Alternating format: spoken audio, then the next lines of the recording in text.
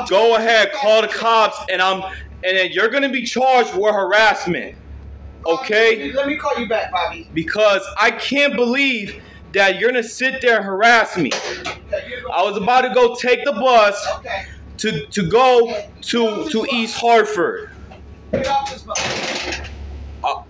I will get off the bus. Okay, you're over here disrespecting for no reason. Take consideration of respect. Okay. You're on YouTube, and then I'm I'm like sitting here Okay. trying to get to um. Okay. I'm going to Glastonbury, Connecticut. When the cops come, I'm going to talk to the police. Okay. And I'm gonna say that you were harassing me, and they say, "Oh, don't talk to me." I know, I know what happened is over and done with. Don't just sit there and just be disrespectful. Cause I, the reason I'm disrespectful, cause you know you was mad at me that I never know, and then when the cops come, I just, I just have a conversation. Don't just sit there and just be rude to people like you're some complete jerk to me. No, nobody wasn't being disrespectful. You just sit there and just yell in my face.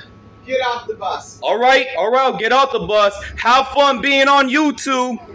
You on YouTube, buddy. I got your face. I got your time. Call the cops. Bye, Karen.